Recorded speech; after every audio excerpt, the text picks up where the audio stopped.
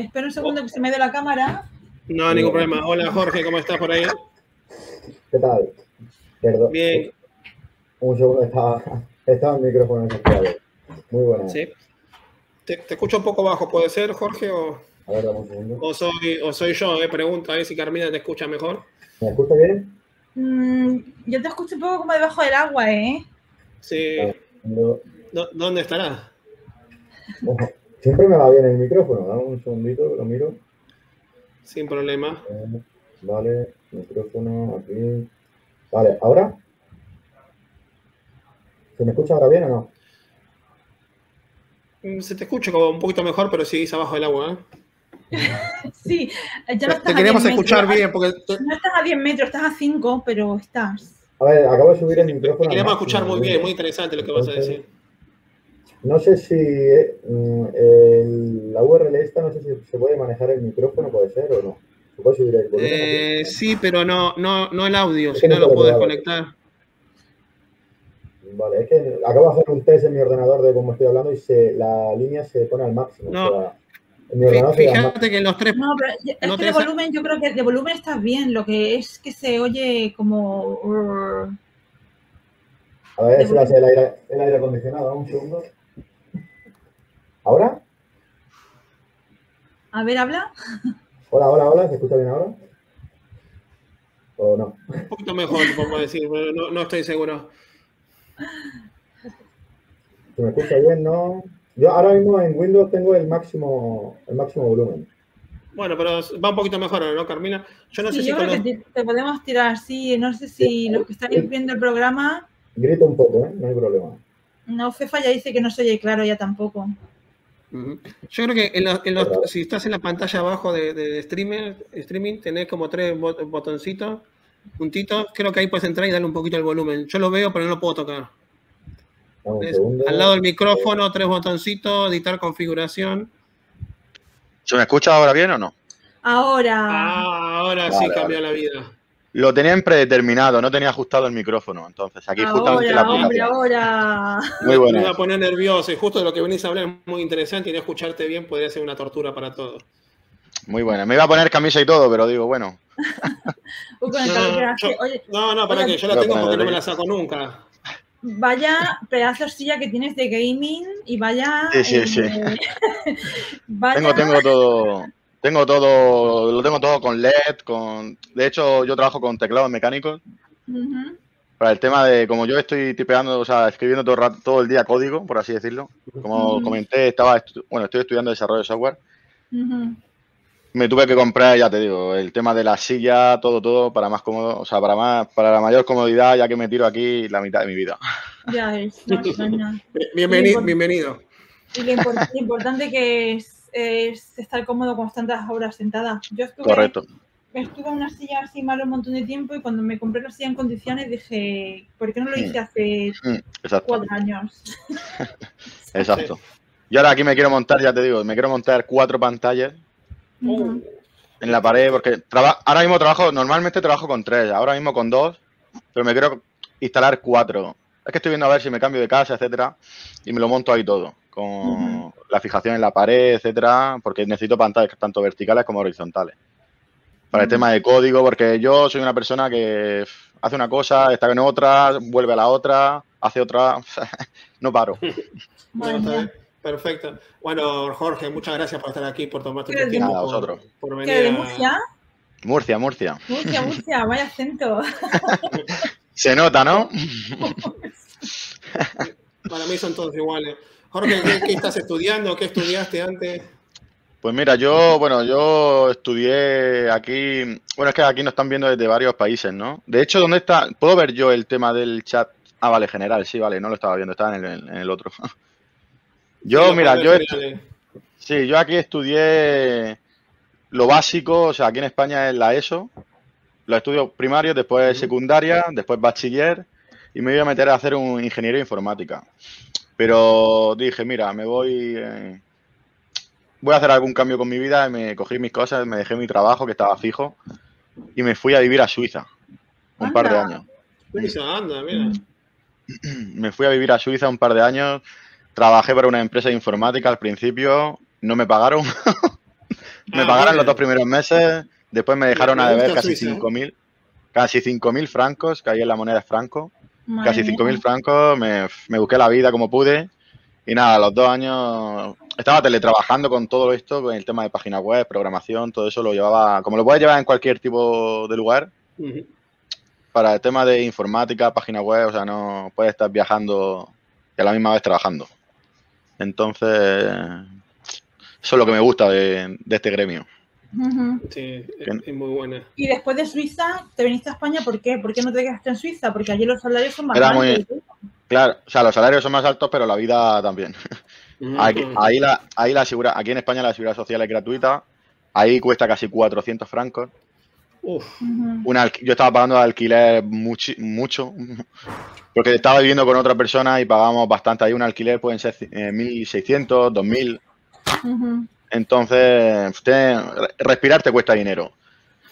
Entonces, sí, entonces la calidad de vida, ahí a las, a las 6 de la tarde tenías que, que cenar para acostarte muy súper temprano y levantarte a las 5 de la mañana a coger miles de trenes, miles de autobuses para llegar al trabajo.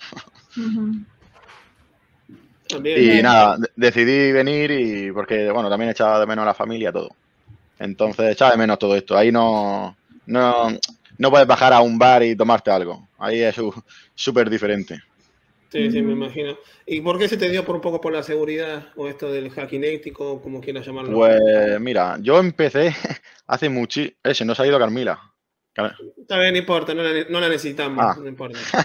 Ya, ya volverá. Pues mira, empecé hace muchísimo, Perdón. muchísimo tiempo que se lo comenté a Germa hace, bueno, se, se lo comenté hace tiempo también, que empecé a con Visual Basic, todo eso. Entonces a investigar, etcétera, y hice un pequeño tipo de software mirando tutoriales por internet. Entonces, nada, creé un pequeño antivirus, por, por llamarlo de alguna manera, y probé a hacer- de hacer un malware. O sea, un- atacarme. Entonces, nada, o sea, yo en ese tiempo no sabían que existían las máquinas. Claro, no sabía que existían las máquinas virtuales ni nada. O sea, no había trabajado nunca con ellas. Entonces, yo ahora mismo tengo, tengo discos duros. de claro, tengo ahora mismo un disco duro de un tera, de 5 teras, todo con máquinas virtuales, porque nunca sé cuándo las voy a necesitar. Y nada, entonces me ataqué a mí mismo y me, me cargué mi ordenador. Y te destruiste. sí, sí, sí. Bueno, bueno, pero Y de hecho no tenía ni- no. Sí, sí, sí. No, no, no, no, no funcionó. Sí, lo que yo ¿No? pretendía es que el, an- el, el pequeño antivirus bloqueara ese malware, pero no, no hizo nada. Claro. No. Bueno, pero Sí, ¿No puedes se te crear ocurrió malware, no antivirus. ¿No se te ocurrió probar en otro ordenador así? ra- No, no, la verdad que no. No tenía, por ahí, ni nada, no, tenía ningún- no tenía ninguna copia de seguridad, no tenía nada, nada, nada, y me, y me cargué todo. Po- ahora, a día de hoy, lo, pu- lo podría haber recuperado todo, pero Ujú. en esos tiempos, pues lo que hice es formatear y listo. Y, Bueno, y a, a organizar otra vez todo. Bueno, sí. Po- Podemos solicitarle a si alguno de los que están viendo o de la comunidad quiere probar tu malware, nos avisa y se lo mandamos. Bueno, ese malware está ya a saber dónde. Lo borré hace años ya. No, no, no lo quería ver más. Entonces fue- ya. Sí, Estoy dime. seguro que fue una, una experiencia en la que aprendiste bastante. sí, sí, por eso. O sea, ahí empecé a decir, oye, me gusta la seguridad. Vamos a ver cómo nos podemos proteger. Entonces ya, ya os digo, eh, iba, estaba, bueno, estoy haciendo ahora desarrollo de software y me iba a apuntar a, iba a hacer también a SIR, que es un grado superior aquí, que es eh, eh, sistemas informáticos, redes, etcétera. Va más enfocado a también temas de seguridad, Linux, todo eso. Sí, sí, sí, Pero no, o sea, claro, me llama a mí más el- la programación. Aunque hay que tener nociones siempre de seguridad. Porque, bueno, en esta vida, embargo, No, no, no, pero. exacto, pero- exacto, como dice Jonathan. Está, está diciendo algo. ¿no?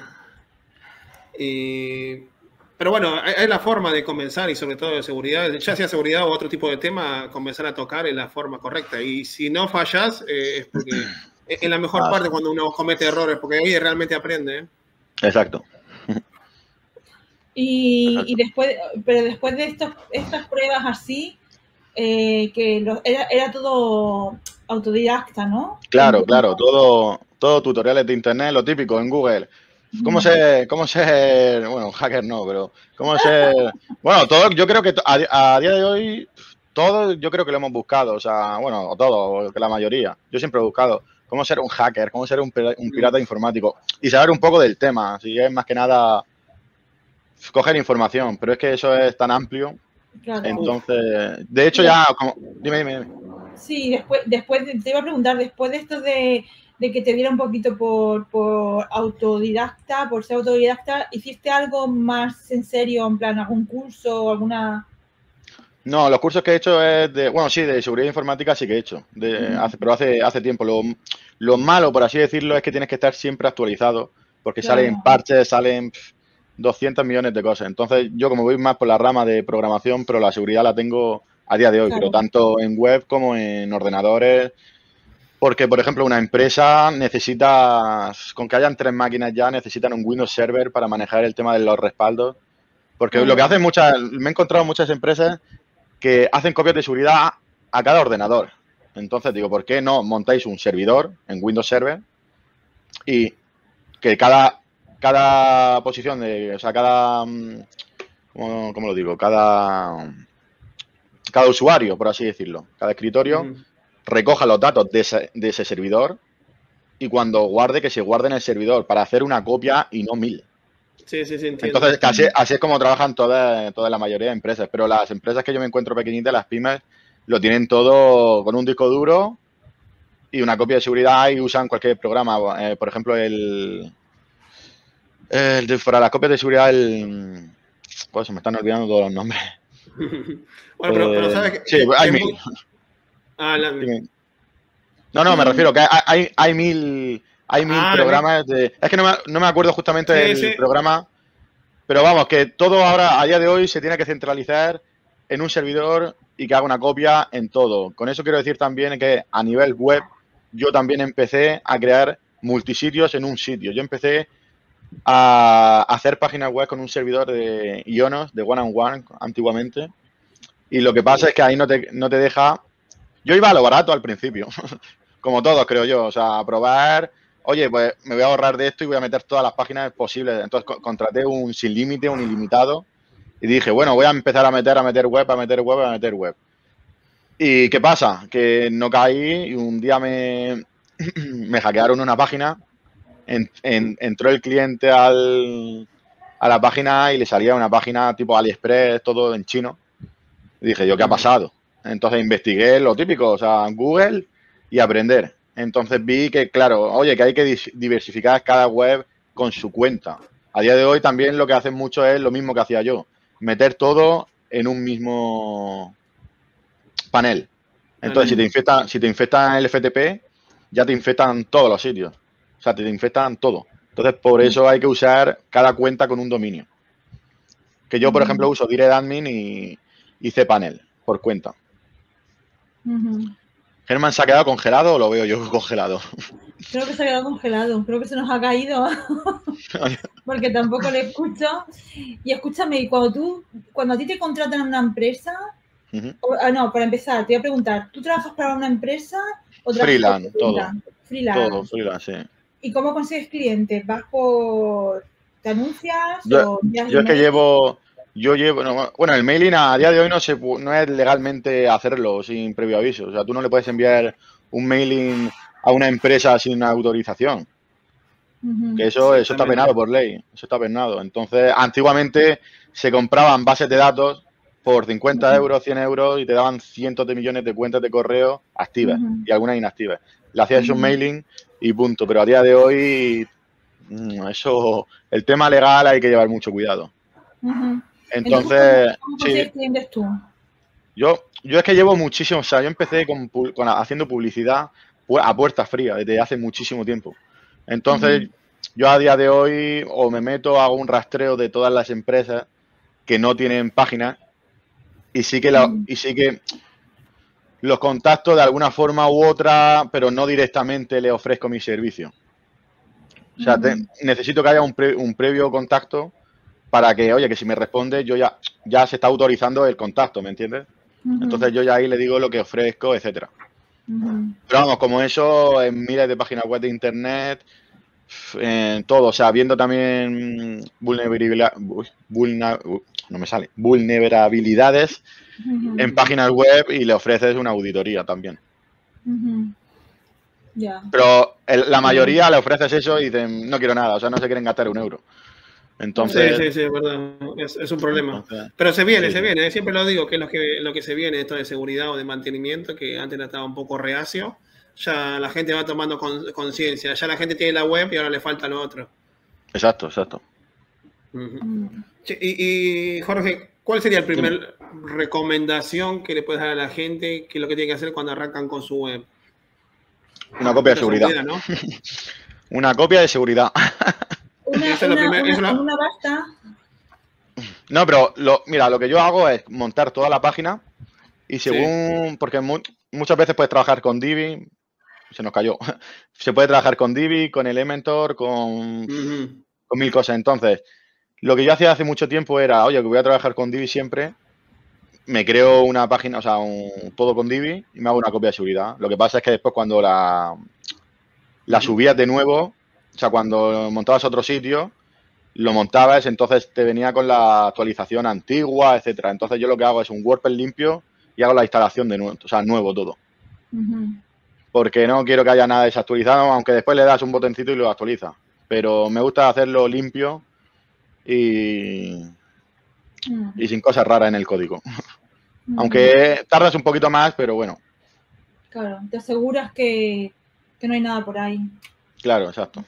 Yo antes tenía, tenía una página, o sea, yo me instalé un, una página modelo con los plugins que yo usaba siempre exacto. O y sea, luego me, me la bajaba y cuando empezaba una nueva web ponía eso para que me aparecieran todos los plugins instalados, pero ya no lo hago tampoco, lo hago como tú. Ahora voy Claro. a uno y... De, de hecho, si es- según la página que sea, si es una sencillita, una landing page o, o lo que sea, a lo mejor tengo ahí algo preparado, con la, como, como dices, con los plugins, los actualizo en un momento, pero bueno, como- si son páginas muy sencillas, hago eso. Mm, Si es una página que me quiero currar, por así decirlo, lo hago todo limpio. mm. Ah, yo creo que he acabado, em, me concentro mejor o lo llevo más organizado cuando es nuevo todo. Claro, Sé dónde Eh, estoy. exacto. O sea, desde cero y es interiormente también, no solo a nivel web, Sí. etcétera. O sea, como que lo ves todo limpio y dices, venga, voy a empezarlo a, y lo voy a empezar desde cero y lo voy a montar bien. Porque ya, Sí. si hay cosas de detrás, si ya te falla algo, ya empiezas a pensar, oye, ¿será algo que no está actualizado por la Mm. copia de anterior? Mil cosas. Por eso yo instalo un WordPress y lo único que me puede pedir es actualiza WordPress. Eso sí que lo actualizo y ya está. O sea, ese es el primer consejo que podemos dar, que no, que no, que no instalen ningún tipo de plugin para seguridad, sino directamente No, directamente no, porque es que para cada, cada- para cada página te, te puedes instalar uno u otro. O sea, tú cuando haces un proyecto web nunca es el mismo. Mm. Entonces, como dice Carmila, si los plugins que siempre usa, a lo mejor a uno no los necesita. Mm. O sea que... mm. ¿Tú para plugin de seguridad siempre usas el mismo o usas varios también? No, uso... Pero es que tengo aquí toda la chuleta, que, que ahora la vamos a hablar toda, que es que no me quiero equivocar en los nombres, ¿vale? El WordFence, el... Con el inglés más o menos, ¿vale? El WordFence, el Security y también el... ¿Cómo era? Este, el... ¿Cómo era? El amarillito, el Items. El iThemes. El iThemes, ese.